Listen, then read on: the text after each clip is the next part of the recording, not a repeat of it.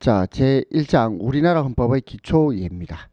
자, 헌법에 대한 설명 중 가장 적절하지 않은 것 이렇게 돼 있죠? 자, 우리 헌법은요. 국가의 근본법입니다. 자, 국가의 근본법이면서 최고법입니다.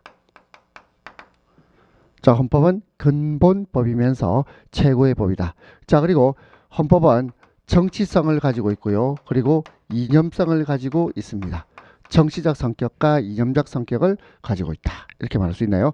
자, 그리고 헌법은 구체적 내용이 아니고 추상적입니다. 추상적 규범으로 이루어져 있죠. 자, 볼까요? 자, 먼저 1번. 우리나라 헌법은 복지국가, 문화국가, 세계 평화를 지향하고 있죠. 1번 맞고. 자, 두 번째.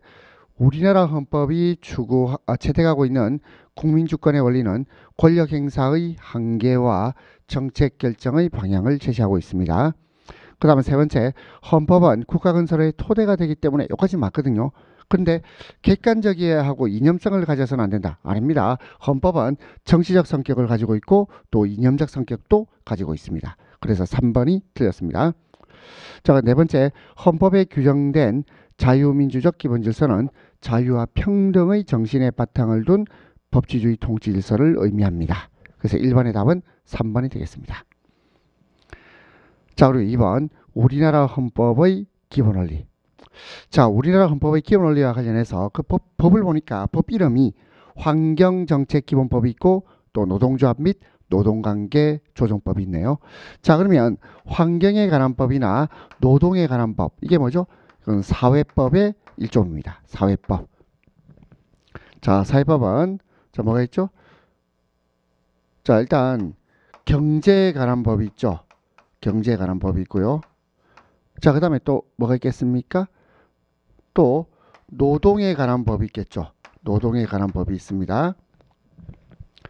자, 그리고 또 환경에 관한 법이 있겠죠. 자, 그래서 자, 이 사회법을요. 이게 뭐라고 하냐면 이것을 제3의 법이라고 합니다. 제3의 법.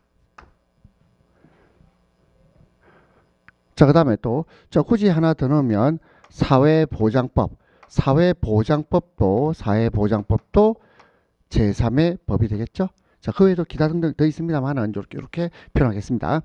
사회법은 제3의 법이고, 그리고 사법의 공법화하고 관련된다. 사회법은 사법의 공법화. 사법관계에 공법이 개입한다. 이 말이거든요. 사법 영역에 공법이 개입을 하는 제3의 법이 됩니다. 사회법입니다. 자, 그러면 결국 이 사회법은 사회적 약자를 보호하는 거죠. 사회적 약자를 보호합니다. 그리고 이에 대해서는 결국 공법이 개입한다는 말의 뜻은 국가가 개입한다 이 말입니다. 국가가 적극적으로 개인의 삶에 개입을 해야 됩니다. 자 보겠습니다.